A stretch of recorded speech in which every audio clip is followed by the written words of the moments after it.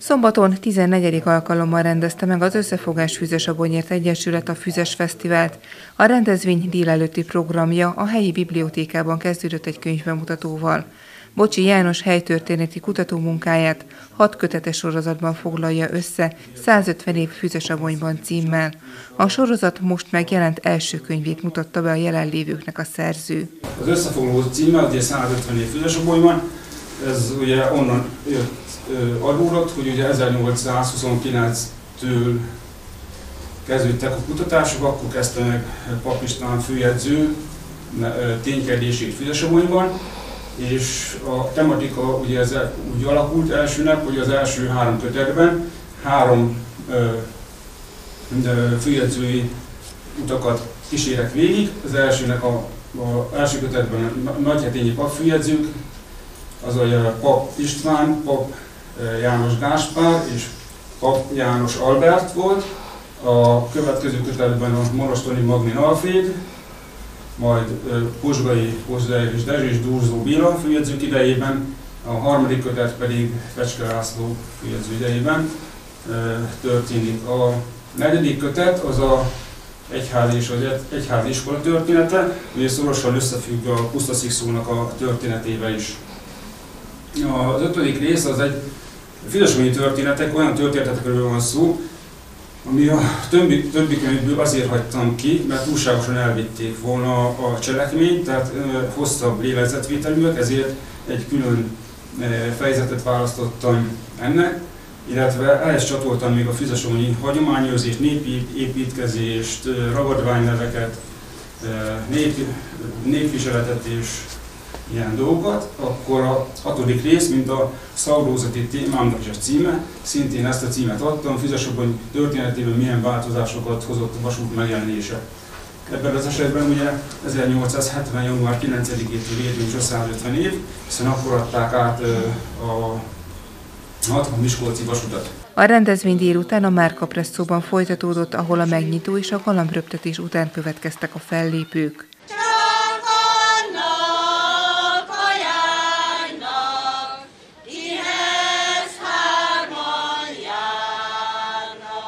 Fellépett többek közt a Kikibolya Honvéd Népdalkör, a Füzes Táncklub, a Gyöngyösi Játékszín, valamint táncdalénekesek.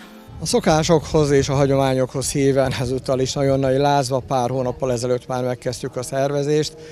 Gyakorlatilag az egyik fő probléma mindig a anyagi vonzat ezeknek a rendezvényeknek. A legelső 15 évvel ezelőtt szintén hasonló nehézségek közepette született meg, és akkor utána voltak olyan évek, amikor valahogy a helyi vállalkozók is és a lakosság is jobban megnyílt előttünk. Én úgy gondolom, hogy egyre nehezebb a helyzete mindenkinek, legyen magánszemély, legyen vállalkozó, és talán ezért is van az, hogy nehezebben jönnek össze az anyagi támogatások. Az egyéb erkölcsi támogatással nincsen gond. Éppen ezért ezen felbúzó egy pár hónappal ezelőtt nekilátunk a rendezvény szervezésének. Hagyományunkhoz híven ezúton is arra törekedtünk, hogy teljesen politikamentesen ezt a napot töltsük el itt együtt Füzes-Abony és a környékbeli lakossággal közösen. A fellépőket úgy válogattuk össze, hogy még a gyerekek a mellettünk lévő ugráló váron, illetve a másik oldalon például a cukorkárusoknál vidáman eltölthetik a e, perceket a szülőkkel, nagyszülőkkel, addig a középkorosztály és az annál is idősebbek most délután szerintem a galambröptetés után e, találnak sok olyan programot, ami tetszeni fog nekik. Lesznek táncosok, standard, Latin Amerika, hastánc e, és sok más egyéb táncprodukció majd pedig az énekeseké lesz a ö, sor, sőt lesz egy színi előadás is. Ez egy új próbálkozásunk, még ilyen nem volt az eddigi Füzes Fesztiválok során, és aztán utána a sztárfellépő közelettéhez viszonyulva már inkább a könnyű zené lesz majd a hangsúly. Az összefogás az szűk és tág értelemben is egy összefogás jelent ilyenkor. A szűk értelemben azt a egyesület tagjaira és a szimpatizánsaira értem, mert hát a tagjaink, tizenvalahányan vagyunk aktív tagok, tehát az már lecsökkent egy kicsit a kezdeti időszakhoz képest, de szerencsére a szimpatizánsokkal sokkal szélesebb körről beszélhetek. De ami nagyon fontos, és ezért is a pár perccel ezelőtt a mondandóba kihangsúlyoztam, hogy ez a nap ez nem a politikáról szól, ez politikamentes, tehát ilyenkor legyen bárki, bármilyen beállítottságú, szívesen látjuk kiremerít, se az egyik oldalt, se a másik oldalt nem fogjuk politikai síkon sem éltetni, sem szédni. Ez a mai nap ez egy teljesen semleges ilyen téren. Ez csak a kultúráról, a szórakoztatásról szól. Vártam már nagyon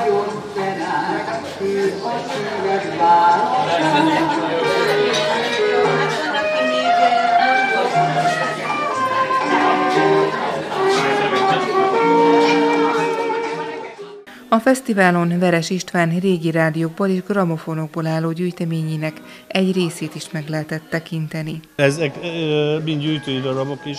1935-től most 1955-ig vannak itt rádiók.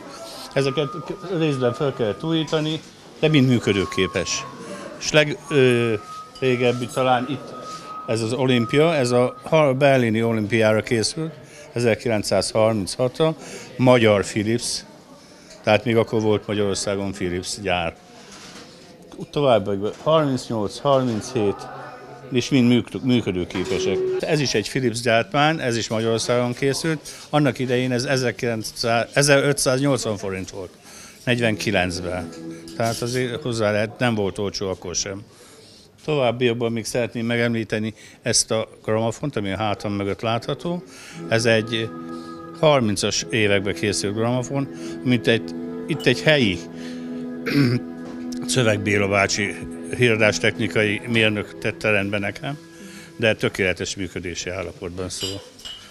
Még mondanám azt, hogy van egy Mambó Magnó, ami 1958-as kiadású, de szép hanggal rendelkezik.